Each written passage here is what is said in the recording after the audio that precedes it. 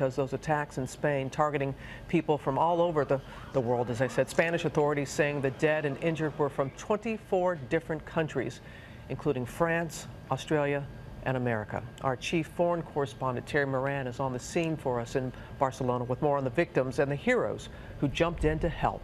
Good morning, Terry.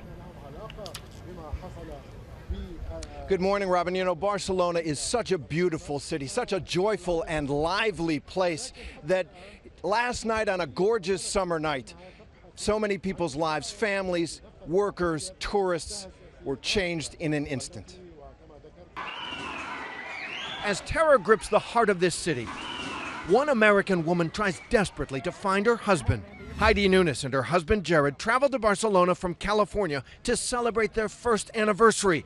They were shopping when the van careened into Las Ramblas. Within seconds after that, uh, I there was screaming and yelling, and I just ended up further and further away um, without my husband. Heidi ended up pushed against a kiosk. She hasn't seen Jared since. In the midst of all the carnage, First thing everybody did was got on the floor and cried together.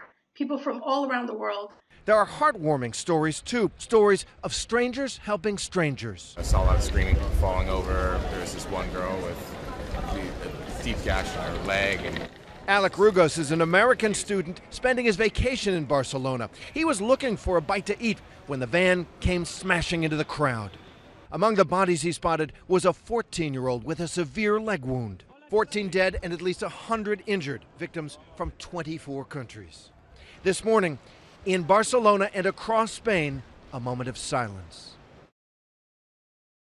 Barcelona, such an international city, a city of the world, and one of the things you feel here this morning is that determination, that defiance that we felt in so many other places, not to let terror define this beautiful place.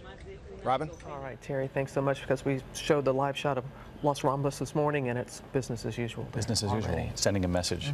Mm-hmm. Hi, everyone. George Stephanopoulos here. Thanks for checking out the ABC News YouTube channel. If you'd like to get more videos, show highlights, and watch live event coverage, click on the right over here to subscribe to our channel. And don't forget to download the ABC News app for breaking news alerts. Thanks for watching.